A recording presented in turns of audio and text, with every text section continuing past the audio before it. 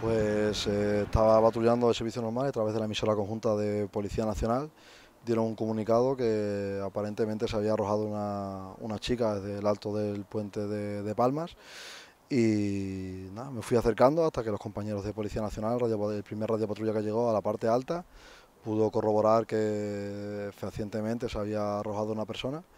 y ya lo que hice fue pues dirigirme a la parte de abajo de lo que es la plataforma del puente y básicamente lo he comentado, desvestirme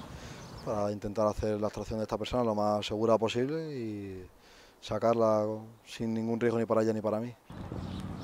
Ha sido a la 1 menos cuarto, eh, hacia una temperatura exterior de unos 4 o 5 grados,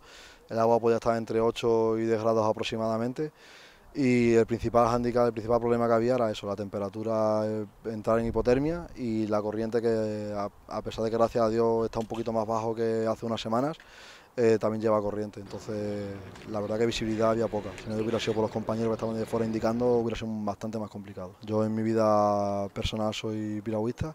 y la verdad he sacado ya varias personas con la colaboración de compañeros de Policía Nacional y de Guardia Civil. La chica creo que tiene 41 o 42 años. Yo cuando he salido a las 7 de la mañana de servicio estaba estable, estaba en UCI y estaba a espera de resultados de traumatología porque debido a la caída tenía contusiones.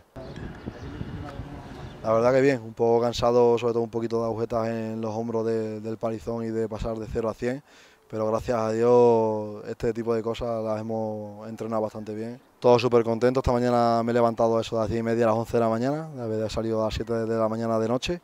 y casi 300 WhatsApp, eh, dos llamadas de jefatura, todos los compañeros alentándome y lo que he comentado antes, simplemente que esto no es solo por mí, sino por todos los compañeros de policía local, tanto de Badajoz y las compañeras, que estamos todos súper preparados como a, nivel regional y también nacional. Pues muy contento y muy orgulloso ¿no? de, de los profesionales que tengo dentro del cuerpo de la Policía Local de Badajoz, es el tercer rescate en dos años que, se hace por, parte de mi policía. Es cierto que, últimamente pues, se han realizado varios rescates en el río y bueno, que, bueno, tener esa, entereza y esa profesionalidad de, adentrarse en la oscuridad y poder bueno, pues salvar la vida de una persona, pues hace que nos sentamos profundamente orgullosos de, de, los policías que tenemos, ¿no? muchas veces anónimos detrás de un uniforme, pero vamos, perfectamente preparados para este tipo de situaciones.